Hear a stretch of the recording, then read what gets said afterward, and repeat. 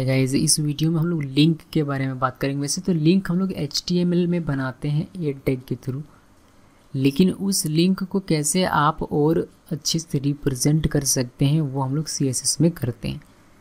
तो यहाँ आपको कुछ चीज़ें पता होनी चाहिए। ए लिंक ये है हमारा, जो कि एक नॉर्मल अनविजिटेड लिंक को रिप्रेजेंट करता है।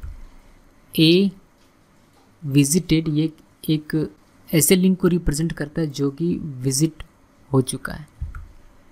ए हॉवर ये ऐसे लिंक को रिप्रेजेंट करता है जिसमें आप माउस लेकर जाते हैं। मतलब उस लिंक के ऊपर में आप अगर अपना कर्सर रखते हैं तो उस चीज़ को रिप्रेजेंट करता है। ए एक्टिव जैसे आप क्लिक करते हैं, आपने छोड़ा नहीं है, बस क्लिक करके रखा हुआ ये इस चीज़ को रिप्रेजेंट करता है, ए एक्टिव ठीक है?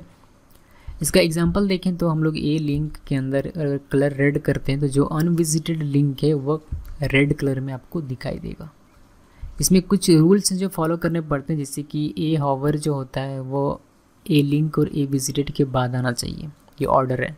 पहले ए लिंक होगा ए विजिटेड होगा देन देन ए हॉवर का आप कोड लिखेंगे।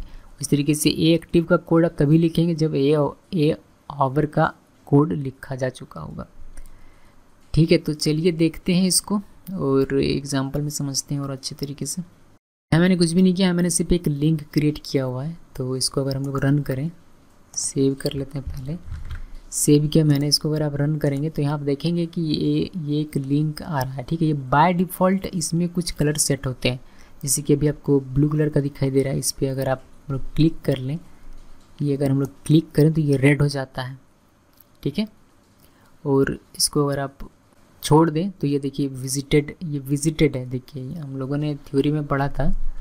ए नॉर्मल अनविजिटेड तो अनविजिटेड बाय डिफ़ॉल्ट ब्लू होता है। A link user has visited तो विजिटेड पता नहीं ब्लैक टाइप का कुछ था जो लास्ट में आपको दिखाई दिया वह कलर मुझे पता नहीं ज़्यादा कलर के बारे में मुझे आइडिया नहीं है यहाँ से।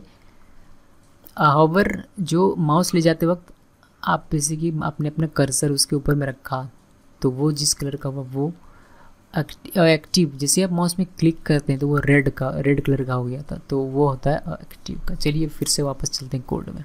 ओके सो यहाँ हम लोग सेट करेंगे अपना खुद का तो इसमें सबसे पहले अगर आप रन करते हैं, इसको फिर से तो आपको विजिटेड ही दिखाई देगा, क्योंकि आपने एक बार विज़िट कर लिया है, आपके ब्राउज़र में ये सेव हो चुका है कि आपने इसको विज़िट कर लिया इसको आप फिर से क्लिक करेंगे तो ये रेड दिखेगा और विज़िट करने के बाद फिर से वही कलर आएगा, यानी कि ब्लू आपको भी नहीं मिलेगा। ब्लू मिलेगा कब? जब आप इसको एक बार और या मतलब लिंक में कोई परिवर्तन करते हैं हम अपने कोड में, या फिर आप ब्राउज़र का कैश क्लियर कीजिएगा कुकीज़ वगैरह क्लियर कीजिएगा तो आपको फिर से वही मिल जाएगा। लेकिन यहाँ हम लोगों ने इसको चेंज कर दिया तो ये हमें मिल जाएगा फिर से ब्लू में। देखिए ब्लू में आ गया। ओके सो इसको इसको रहने देते हैं नीचे और हम लोग यहाँ सेट करते हैं। सबसे पहले ए लिंक जो कि एक्टिव है ए लिंक इसका हम लोग कोड सेट करते हैं। सो तो सिर्फ़ मैं कलर चेंज कर रहा हूँ। कलर मैंने अभी तो ब्लू दिख रहा था आपको, लेकिन अभी ये आपको रेड दिखेगा। ठीक है, इसको सेव करते हैं और इसको रन करते हैं। इसको रिफ्रेश करते हैं ना यहाँ से। इसको रिफ्रेश करेंगे तो आप देखेंगे कि ये अभी आपको रेड दिखाई देने लगा। उसी तरीके से नेक्स्ट जो है विजिटेड विजिटेड को करते हैं तो विजिटेड इसका अगर आप कलर सेट करें रेड नहीं रेड तो है ही। विजिटेड का कलर हम लोग सेट करते हैं क्या? मुझे तो ज़्यादा कलर भी नहीं पता। ग्रीन करते हैं, ठीक है? मैं कलर चंद आप, मैं कॉपी करता हूँ, पता है आप लोगों को? मैं कलर का ज़्यादा मुझे आइडिया नहीं है। कौन कलर से कलर होते हैं, क्या होते हैं? बस नॉर्मल यही सब नाम पता है मुझको रेड ग्रीन ब्लू येलो ये वो दिस दैट वो ज़्यादातर कलर के नाम में कॉपी कर लेता हूँ इंटरनेट से ढूंढ कर ओके सो ए विजिटेड हो गया। अब ए हॉवर करते हैं। याद रखिएगा कि है ए हॉवर आपको तभी करना है जब आपका ए लिंक और ए विजिटेड सेट हो। मतलब ए हॉवर जो लिंक और विजिटेड के बाद आता है। तो यहाँ हम लोग हॉवर का कलर सेट करते हैं। ये हम लोग क्या करेंगे? ये हम लोग करते हैं ब्लू या फिर करते हैं येलो ठीक है येलो करते हैं। उसके बाद एक लास्ट हमारा है जो कि है एक्टिव मतलब जैसे ही कोई क्लिक करता है, क्लिक करके रखता है तो एक्टिव में क्या कलर आए कलर उस वक्त क्या कलर आए उस वक्त कलर आया आपका ब्लू ब्लू दे देते हैं। ब्लू ही आ रहा है दिमाग में। ब्लू दे दिया हम लोगों ने। इसको सेव करते हैं और इसको हम लोग रिफ्रेश करते हैं यहाँ से। तो अभी तो ये आपको रेडी दिखाई देगा जब आप इस पर अपना माउस लेकर जाइएगा अपना कर्सर तो ये येलो हो जाएगा और आप जब इस पर क्लिक करके रखेंगे तो ये ब्लू और जब इसको विज़िट कर लेंगे, छोड़ देंगे तो ये फिर से हो गया आपका ग्रीन ठीक है?